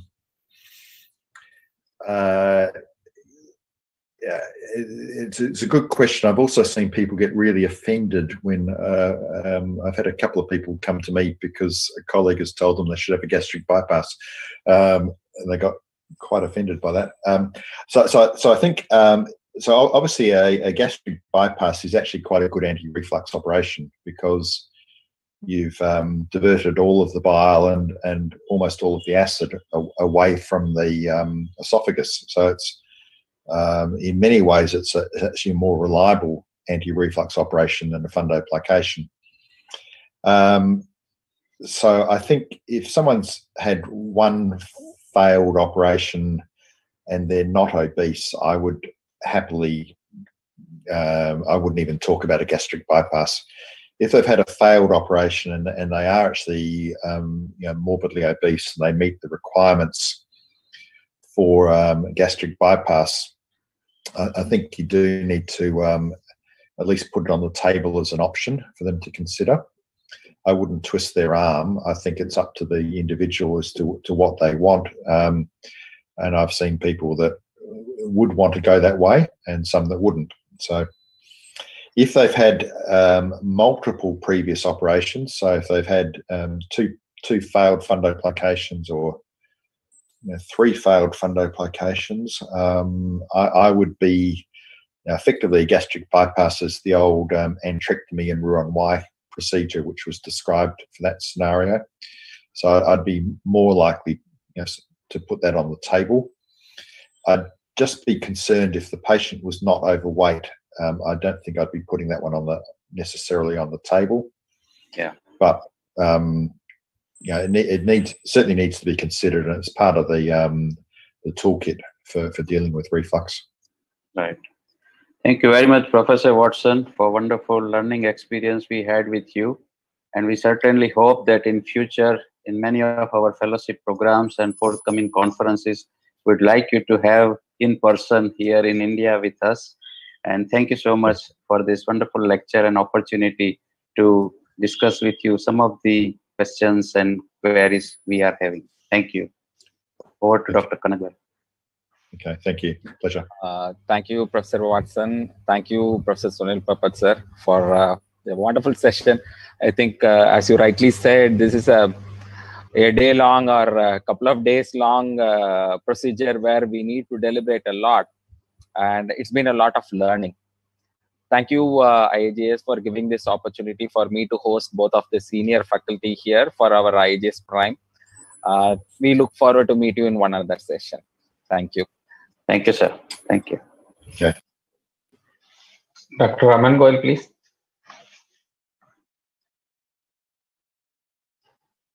Uh, thank you, Dr. Sunil. Uh, thank you, Dr. Watson, for uh, making such a long uh, list of questions covered up and almost we got answered most of the important issues. I now take the privilege of inviting the president to give his comments before we close. I think, Dr. Kanagwel, you need to take the questions also. I know I see so many of them are pending. So before you take the questions, thanks for inviting me to speak a few words. I think it had been a, a wonderful evening and a pleasure to listen to Professor Vittal initially being interviewed by our honorary secretary, Dr. Ishwamurthy. Professor Vittal is a, a pioneer, a legend in his own rights across the country. And it had been a privilege, my privilege, to meet him personally somewhere, I think, in 2003 and 4, when I was invited for the National Conference of Internet, uh, Indian Association of Endocrine Surgery. And uh, uh, Dr. Sai Vittal was also there in Chennai. And that is the time when they discussed including bariatric surgery as part of the endocrine surgery. I think that's an ongoing discussion. But it's amazing how he has molded lives of so many of people uh, across the country. And that is what uh, we had envisaged that uh, IAGES Prime will bring the legends of surgery uh, across the country. You know, it's not about legends of IAGES, it's legends of uh, surgery who have been uh, who have contributed in teaching and developing the the philosophy of surgery in this country. And Professor Vittal definitely belongs to that that class, and uh, it's an honor for IAGES to have him uh, participate in this. And I think thank Dr. Ishwamurthy for organizing and conducting this uh, talk so beautifully. Friend, this talk will be available on the YouTube forever, and I hope that many more surgeons who have not been able to join today would be uh, would take benefit of that. The second part of the IAGES Prime today uh, with the Professor Watson was amazing because uh, I had been doing uh, fundoplications for more than 25 years before I stopped doing them uh, because I chose to do bariatric. But I still do it as part of bariatric surgery in many patients because all, almost about 30% of our patients do end up with reflux disease and we need to do a, a repair in those patients. And what he has spoken today was uh, is what we need to accept that there are no black and whites in surgery in many conferences across the country, young surgeons ask, why don't we give a definite answer to them? Why don't we give one or two, three? And what Professor Watson has shown today uh, for a for a procedure for fundoplier for uh, for reflux disease, that you you always have a trade-off. You have a trade-off better results and more side effects. You have a, have a trade-off inferior results and less side effects. So I think uh, these gray zones are part of surgery and they are never going to go away. And as the society, as a surgeon, we all need to grow and we all need to accept them. I find these questions asked repeatedly in bariatric surgery to me now, as they were asked earlier for general surgery for, to me. And it's very difficult to say that, but what Dr. Watson has shown is, is amazing because it's evidence based. He has shown where partial anterior repair uh, worked better in long term as far as side effects are concerned, but had inferior uh, results in terms of reflux. So I think uh, Dr. Sunil Popat, who is going to be the president very soon in next three to four months, who is going to occupy the chair that I am sitting on today, has done a wonderful job by asking such uh, such pertinent questions and bringing out the best out of Professor Watson. So thank you, Sunil, for uh, for taking this responsibility. And I again thank Prof. Dr. Kanagwel for conceptualizing this idea and conducting this meeting every fortnight. I, I know there are many questions. I can keep on talking as everybody is saying for one or two days only on reflux disease, but I leave it to Dr. Kanagvel to take your questions and to get their answers. Dr. Kanagvel, please. Thank you, President, sir. Uh, in fact, um, it's uh, three o'clock in the morning in Adelaide. So uh, I would say please mail us your questions. Uh, Professor Watson has agreed to uh, get back with all the answers. So with that few words, I thank for the opportunity given by the IAGES. I thank the President, Secretary, and the entire EC for allowing me to conceptualize and do this program fortnight after fortnight. Now I formally invite uh, our Honorary Secretary, uh, Dr. Ishwar Murthy sir, to propose the vote of thanks. Over to you, Dr. Ishwar sir. Thank you. Thank you, Mr. President, friends, and ladies and gentlemen. I think it's a very interesting blockbuster event and edition from our hero of today, Dr. Kanagvel. Well done, you've done uh, laurels to our uh, association. And on a festive weekend, I'm sure, with uh, blessings of our Lord here, the Durga and also Saraswati, I think it symbolizes the knowledge and power, as you can see, the triumph of this event and celebrating the triumph of the good over evil. I think the tone is set for this very important Black blockbuster. Both the events were so wonderful. The one taken hour long by our president-elect Sunil Popat, uh, really choreography. I think I say the way he structured, the way the clarity of the message from David Watson across the other continent for nearly an hour is amazing. I think his pearls of wisdom after 4,000 plus surgery is amazing. I'm waiting to hear all the interactions going to happen. I think we need to allow them to watch this site in the next few days to see all the chat box filled with all the questions and answers from them. And well done, Kanagavel, for coordinating this event.